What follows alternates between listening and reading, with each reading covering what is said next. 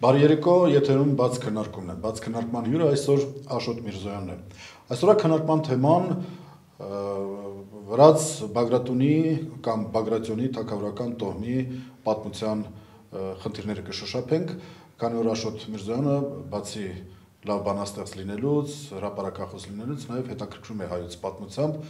եւ որոշակի բացահայտումներ ունի անելու այսօր կապված Բագրատյոնի տոհմի ծագման եւ նրա գործունեության հետ կապված եւ ընդհանրապես վրաց թակավորության հետ։ Աշոտ մենք եթերում ենք հնարավորություն եք ողջունել մեր Շնորհակալություն հրավերքի համար։ Այս այսօր աստորեն սա առաջի լուրջ արձագանքն է այս հոդվածից վերաբերյալ Ալավերդիում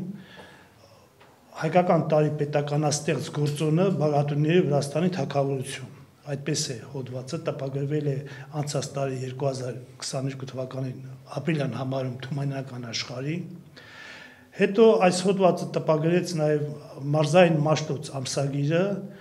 որի մասին Բաղատունների Վրաստանի թակավորություն վերնագրով, որի մասին արձագանքեց Հայաստանի Հանրապետությունը հետաքրի տեսակետի առաջադրել եւ Լոռու մարզը Վերջերս հոդվածը 2023 թվականին տպագրվեց նաև Շիրակ ամսագրում Գյումրիի։ Հիմա ինչն է խնդիր։ Ես այս հոդվածում փորձել եմ վերհանել հայ եւ վրաց ժողովուրդների բարեկամության, միասնական պայքարի եւ հաջող հաջողված պայքարի արդյունքները, այսինքն այն որ հայ եւ վրաց ժողովուրդները միասին 1000 տարի շարունակ Բագրատինոների Վրաստանի թակավորության շնորհիվ կարողացել են պայքարել աշխարհակալ կայսրությունների եւ հորդաների դեմ եւ հաջողության պայքար եւ գոյատևել, այսօր ցավոք սրտի ինչ որ չափով մոռացված է։ Ինչու է մոռացված դա թե սովետական պատմագրության խնդիրն է, որ նրանք հավասարություն են դրել մեր եղբայրությունը մոռացնելով հավասարություն են դրել նաև երկրորդ թուրքազեյների եւ քոշոր տարի եւ մեր նրանց միջև դա արդեն սովետական պատմագրության խնդիրն է հիմնական ինչի վրա հիմա է վրա հիմնվում որ հայ բան վարակտունի Վրաստանի թակավորությունը եղել է հայ վրացական կամ վրաց հայկական այսինքն այն որ որովհետեւ բագրատունները իրենք ցակումով Հայաստանից գնացած Վասակ բագրատունուց 7-րդ դարում Հայաստանից գնացած Վասակ բագրատունուց ծերունդներն են նրանք միայն ընթացքում ընդունելով ուղափառ կրոնը, վրացական ուղափառ կրոնը, բարատյոնի են դարձել, սակայն միշտ պահպանվել են իրենց նաև հայկական բանը, ինքնությունը եւ հայկական լեզուն են պահպանել։ Դա ապացուցվում է 1800-ական թվականներին, 1700 ռական թվականների վերջում եւ Բարդունի Գյորգի Թակավորը արգությանների վերաբերյալ հրովարտակի գրում եւ երկլեզվան այսինքն Վրաստանում լինում է միջև այդ բոլոր 7-8 տարի ընթացքում Վրաստանում պետական մակարդակով պահպանվել նաև հայոց լեզու Մյուս մյուս կարևոր տարը, երկրորդ երկրորդ ամենախոշոր տոհմը Վրաստանի թակավորություն Զաքարյանները եւ նրանց հաջորդող արգությանները մակուր հայեր են եղել, թաղված են մեր հայկական իրանց դամբաները գտնվում են Սանահինում եւ նրանք ծավալ են մեծ գործունեություն, նաեւ Հայաստանի ազատագրման, Հայաստանի տարածքների ազատագրման։ Եվ հետաքրիր փաստ. Թբիլիսին եւ Մարաքաղաք է դարձել Վրաստանի մայրաքաղաքն է դարձել 12-րդ դարից։ Թբիլիսի ժամանակին հայերս մցխեթ էին կանվում Թբիլիսին, Թբիլիսի 47 քաղաքապետերից 45-ը հայերն են եղել։ Մցխեթ հայլ քաղաք է չխառն ենք իրար մցխեթը Տփխիս, տփխիս, տփխիս, տփխիս էին կանվանում, հա տփխիս էին կանվանում Թբիլիսի 47 քաղաքապետերից 45-ը հայերն են եղել։ Թբիլիսի բանը արքունիք, արքունիքի իշխանների մեծ մասը, կամ մեծ մասը չէ, կամ հիմնական մասը նույնպես հայ իշխաններ են եղել։ Իսկ Թբիլիսի բնակչության 90%-ը նույնպես հայեր են եղել։ Ինչպես կարելի է ասել, որ այդ թակավորությունում հայերը դեր չեն ունեցել կամ անտեսել դա։ Ես համարում եմ այն պատմաբանները, որոնք այդ դերը անտեսում են, մտածված գործում են հարևան կասությունների շահերից, քանի որ բոլոր հարևան կասությունները ցանկացել են մեզ մեզ մեզ մեր ինքնությունից զրկեն, մեզ մեր եղբայրությունից զրկեն եւ լուծեն իրաց մեջ ասենք։ Հիմա մյուս կարևոր պահը ասենք դա մեր գոյաբանական կոդն է եւ այսօր էլ մենք պետք է մտածենք որ թե ինչպես վրաց քանի որ ունենք երկու ժողովուրդներով գոյության խնդիր մտածենք ինչպես համախմբենք մեր ուժերը դա ապացուցված է որ համախմբված կարողացել են գոյատևել Աշոտ ներողություն խնդրում ես փոքր ընդհատեմ երբ որ դա վերցնում ենք ժողովրդների հավերժ բարեկամության, այդ հավերժ բարեկամության տարիները կար մենք կարծես թե անցել ենք խորհրդային տարիներին, հետո ժամանակը ցույց տվեց, որ հավերժ բարեկամություն չկա։ Երբ որ դուք ասում եք, որ այ այդ բարեկամությունը դարերով եղել, ես ուզում եմ հակառակել դրան, որ այնքան էլ այդպես չի եղել, որովհետև եղել են ժամանակաշրջաններ, երբ լուրջ պատերազմներ են գնացել հայ-վրացական, նույն Բագրատունիների շրջանում։ Հիշենք հենց միայն Դավիթ Անհուղինի, հիշենք Անի գրավումը, ավերումը, եւ նույնիսկ գանք վերջին շրջանները, ասենք Հերակլի ժամանակաշրջանը 18-րդ դարում, երբ Երևանի Բերթը չկարողանալով գրավել, նա պարզապես կոտորեց Արարատյան հայությանը, գերի տարավ, ավերեց, վառեց, այրեց ամբողջ Արարատյան հարթավայրը։ Այսինքն դա քաղաքական շահերն են, ոչ թե ազգային կամ Բագրատունի բարեկամական կապերի։ Վերջո մենք չմոռանանք արշակունիները ովքեր էին, բայց արշակունիները պատերազմում էին Իրանի դեմ, հայոց անկախության ու Պարսկաստանի դեմ հայոց անկախության համար։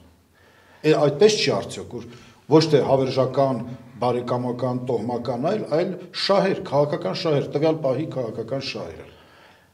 Քաղաքական շահեր կան, գոյություն ունեն, սակայն ինչպես ասացիք, կոտորածներ այդպիսի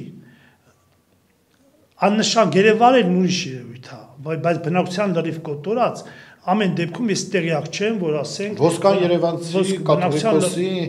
աշխատության մեջ է պատմվում, թե ինչ արեց Հերակլը Արարատյան հարթավայրում։ Գերեվարես տարավ ասենք, Գերեվարես տարավ ասենք, կարող ովքեր որ չէին ենթարկվում, խափեց Թուրքիայից հրապուրեց, վերադարձեց, ովքեր փախել էին պատերազմից։ Բերեց եւ ճանապարհների նրանց մեծ մասը մահացան, մի մասը հենց այստեղ Լորվաձորում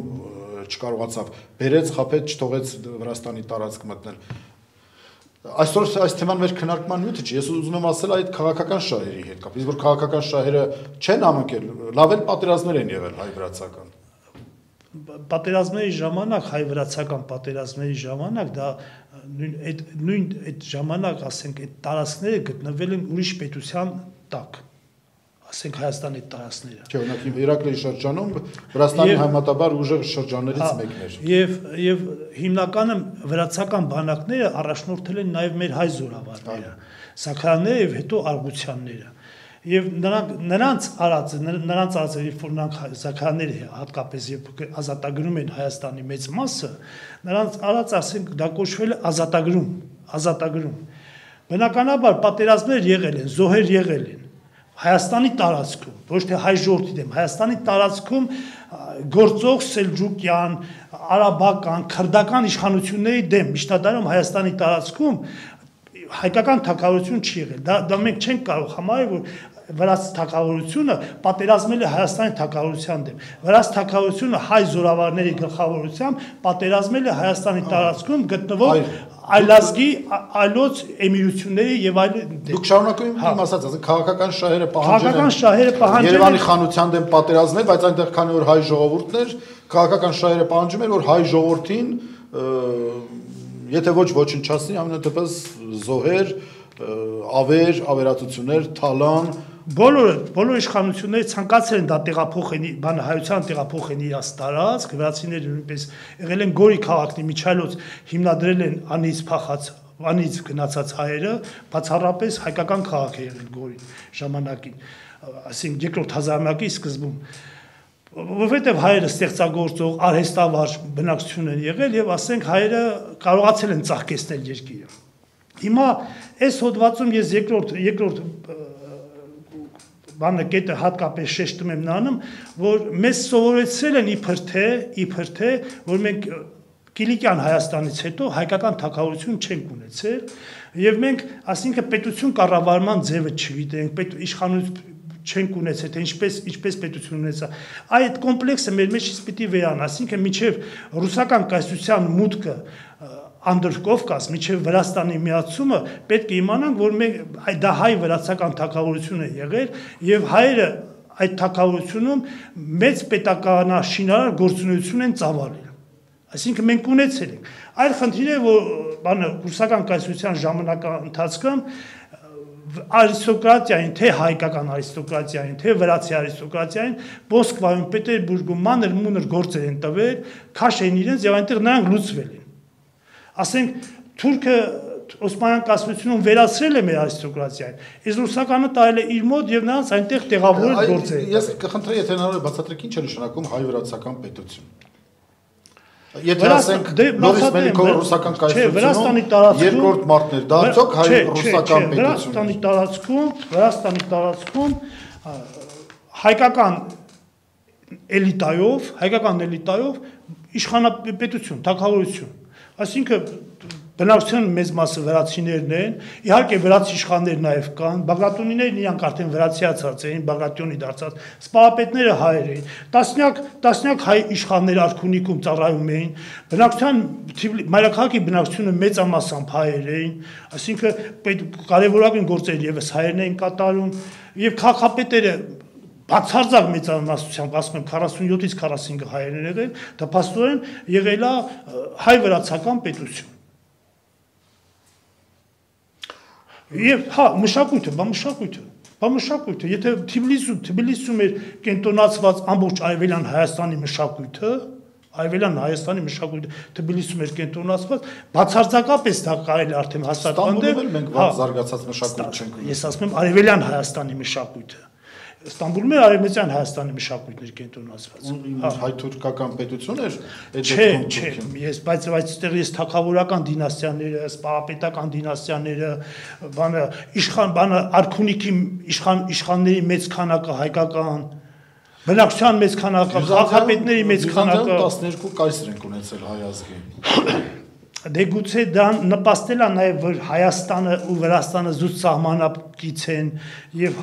այսինքն շատ հաճախ տեղափոխվող սահմաններով Հայաստանը մեկ առաջագնը, մեկ Վրաստանը, ասենք առաջագալիս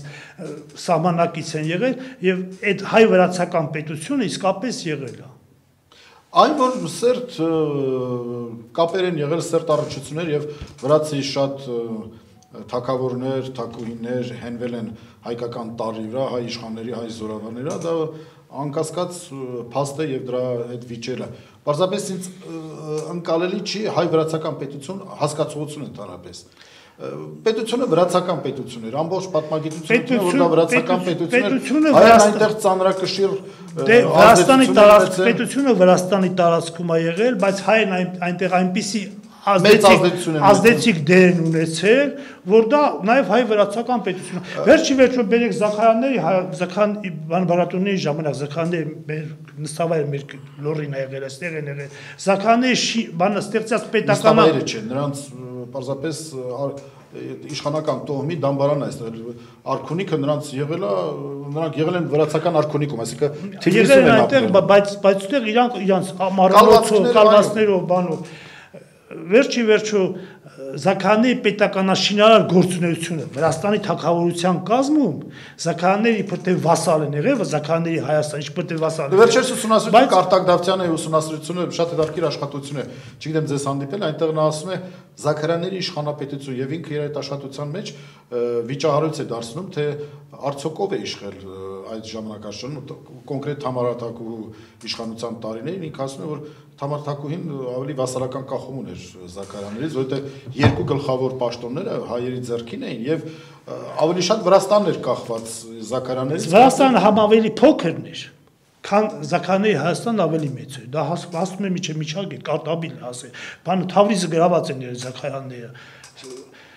ավելի մեծ է, ավելի եւ բնակչությամբ եւ ավելի հա- հարուստ, Հայաստանը ավելի տարանցիկ ճանապարհների վրա է, առևտրային ավելի հարուստ։ Սակայն այստեղ նրբությունը որն է, սա էլ եմ ուզում շեշտել։ Բաղրատունիները աշխարհի կայսրերի, խալիֆների կողմից թակավոր որպես ճանաչվել էին թակավորական տող։ Այ Զաքարյանները, այն Զաքարյանները միշտադայրան ասպետության իդեալներ են։ Հավատարմությունը, նրանք թեկուս հզոր են եղել, չէ, բայց նրանք չեն ապստամբել Բագրատունների դեմ։ Աշխարհը ճանաչել է Բագրատուններին որպես թակավորական տող, Զաքարները չեն ապստամբել, չեն ցանկացել անկախանալ, պահպանել են թեկուս այդ ձևական վասալական դրվածքը։ աշխարհ բյուզանդական կայսերի, արաբական խալիֆների եւ այլոք ճանաչեն Բաղդադունների, Բաղդադունները բացի իրանց Բաղդադուններից արցունների այրուն ամեջներն եղել արդեն, վրաց եւ Աբխազ թակավորների դինաստիաների արդեն այրուն ամեջներն եղել Վրաստանի Բաղդադունների եւ բասական զաքարանները պահպանել են իրենց հավատարմությունը եւ այդ հավատարմության համար բաղրատունիները զաքարաններին տվել են երկայնաբազուկ տիտղոսը որպես պարապետության իսկ մոնղոլ մոնղոլ արդուխանը զաքարաններին արդեն տվել է արղուտ տիտղոսը ըստ ինձ նրանք այնքան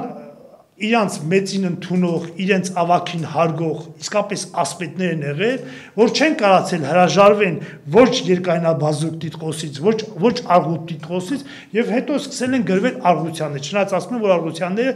բայրական կողմով են Սաքայաններից, բայց արդեն գրվել են որպես արգության երկայնաբազուկներ, որովհետեւ ոնց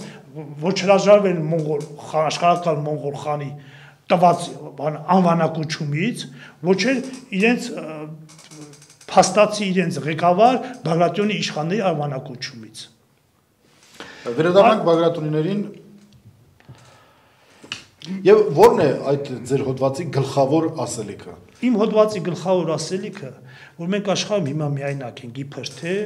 բայց մենք իբր թե միայնակ չենք։ Մենք մենք ունենք եղբայրական ժողովուրդ, վրացի ժողովուրդը, որի հետ մենք պայքարել ենք, որի հետ մենք հաջողության ենք հասել, եւ որը մեր հարևանն է, եւ որը ունի նույնպես մեր մեր նման գոյության խնդիրը, որ մենք կրկին ճանապարհ փնտրենք այս երկու ժողովուրդների ընդհանուր պայքարի, գոյության ընդհանուր պայքարի։ Դու սկսում ես Շահամիր Շահամիրյանի գործը։ Ստիփոց, ստիփոց, ստիփոց, ստիփոց։ Իդեպ Շահամիր Շահամիրյանը հենց այդպես սկսեց, երբ որ տեսա, որ Եվրոպան մերժում է, Ռուսաստանը քայլեր չի անում, նա հույսը կապեց Վրաստանի հետ եւ հավանաբար գիտեք, որ Հերակլ Թագավորը փորձեց լորին նվիրել Շահամիր Շահամիրյանին։ Հարովարդ ունի, նվիրած ունի, հետո նա չի կարող գա, սակայն Շահամիրյանը չեկավ, սկզբից հա։ ասես նվիրեր իր իր այդ լոռուտերը ցանկանում տեսնել Գևորգ Աբովի ներողություն Մելիկաբովին Արցախի Մելիկաբովին սկզբում Մելիկաբովն ինքն էլ չէր ցանկանում, հետո երբ որ Ղարաբաղյան մելիքների հետ լուրջ խնդիրները խորացան Մելիկ Ջումշուդը, Մելիկաբովը, Մելիկ Ֆրեյդոնը, հետո գնում են Մոսկվա, Մոսկվա, երբ որ Արցախում բանը ժանտախտա բռնկված են գնում են Մոսկվա, որ ժողովրդին բերեն ստե ինչ որ մոդիկ տարածքում, որ հետո էլի կարենան ժանտախտա հենց մարի գնան բան։ Ու Մոսկվայից բանը Պավել Թակավորի հրամանով ստե վրաց Թակավորը Վրաստան արդեն Մոսկվայի բան է, ենթակայության տակ է պրոտեկտորանտ։ Գյորգի 12-րդը։ Հա, Գյորգի 12-րդը այս Շահամիրյանին տված լորին հետը բանը արդեն ռուսաց թակավորն էլ գիտեն որ սա կտակած է Շահամյանը գրում ասում է եթե նա Շահամյանը չի գալիս դուրս սրանց էլի հայերը որ տեղավորվեն սկզբից Գյորգի 12-ից կապես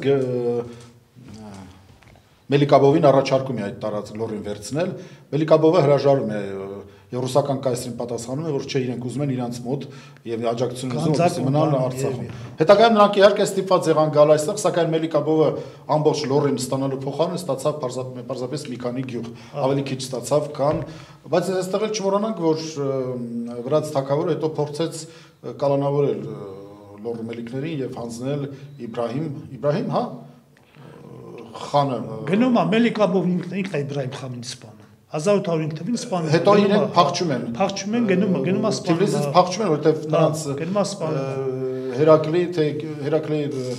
արքունի պալատականներից մեկը տեղեկացնում է որ ձեզ ձերբակալելու է քեֆի է հա։ հravirում օրթաճալայում միշտեր պլանավորած եղել ձերբակալել հանձնել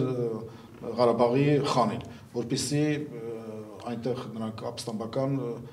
ինչ որ քայլեր էին ձեռնարկում հա։ Մոսկվայի հետ այդ հարաբերություններում, սակայն նրանք կարողանում են փախչել։ Իմանալով այդ ձիեն նստում փախչում։ Ես այդ այդ թեմայի վերաբերյալ եւս հոդված ունեմ հայ-ռուսական բարեկամության գոյադվանական կոդի հիմքերը։ Եթե ասենք հետաքրի, ելի մի քանի տեղ հրապարակվել է,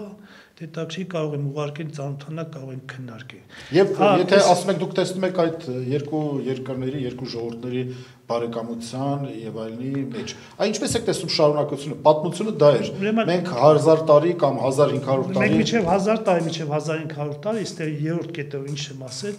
մենք նաեւ